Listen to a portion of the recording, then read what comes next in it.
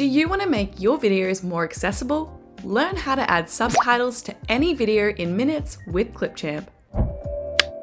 Start by logging into Clipchamp or sign up for free. Once you're inside the editor, you'll import the video you want to add subtitles to. Do this by clicking on the Import Media button, selecting the video asset, and then hitting Open. Your video will load into the media library here. Next, you'll drag and drop your video into the timeline to start editing. For this tutorial, I will be using one of our own previously posted YouTube videos. Now, to easily add subtitles to your video, click on the video asset in your timeline, and it will highlight in green so that you know it's selected.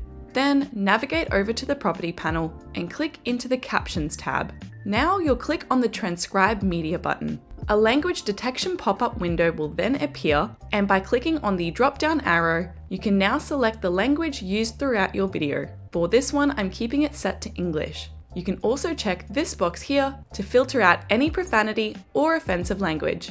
Once complete, click on the Transcribe Media button. You'll automatically return to the editor and your subtitles will begin to auto-generate over here in the Captions tab. The generation time will depend on your internet connection, speed, and the length of your video. Once your captions have loaded, a transcript will appear here in the transcript section of the Captions tab, and your subtitles will appear on your video.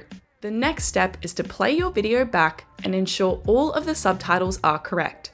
You can browse through the index of timestamps to help you navigate the transcript. If there are any misspellings or grammatical errors, just click on that word in the transcript section here and type out the correct version. You can also edit the appearance of your transcript if you'd like, including the font, size, alignment, colors, and position. If you'd like to learn how to do this in detail, I've linked our tutorial videos on this with the timestamps in the description below. Lastly, you can download your video transcript in SRT file format if you'd like to. The SRT file gives you the option to auto add subtitles to a video after it's produced. To do this, navigate back into the Captions tab in the Property panel and click on the Download Captions button. Your Captions transcript will then download straight to your device. Once you're completely happy with your video and all of your edits are complete, you can go ahead and export it by heading over to the Export button, selecting your video quality, and then once the export is complete, hit Save to your computer and it will download straight to your device. And that's how you can easily add subtitles to a video with Clipchamp.